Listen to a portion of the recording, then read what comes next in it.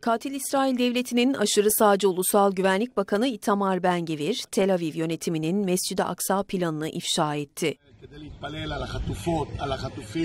İsrail Ordu Radyosu'nda açıklama yapan İsraili Bakan, Mescid-i Aksa'da Yahudilerin yasal olarak ibadet edebileceğini öne sürerek orada bir sinagog inşa edeceklerini söyledi. Gazze kasabı Bengivir'in skandal açıklamasına peş peşe tepkiler geldi. İsrail Başbakanlık Ofisi Mescid-i Aksa'da sadece Müslümanların ibadet etmesine izin veren tarihi statükoda bir değişikliğin olmadığını aktardı.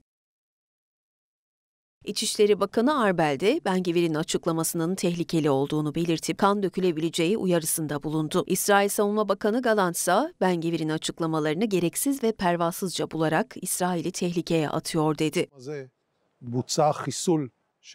İşgalci İsrail'in katil bakanına bir tepki de Türkiye'den geldi. AK Parti sözcüsü Ömer Çelik, Mescid-i Aksa'nın Müslümanların kırmızı çizgisi olduğunu belirterek Bengevir'in sözlerinin soysuz ve lanetli bir açıklama olduğunu vurguladı. Filistin karşıtı görüşleriyle öne çıkan Bengivir sık sık Mescid-i Aksa'ya baskın düzenliyor. En son 13 Ağustos'ta Harem-i Şerif'e baskın düzenleyen Bengivir, burada yaptığı açıklamada yine Müslümanları hedef almıştı.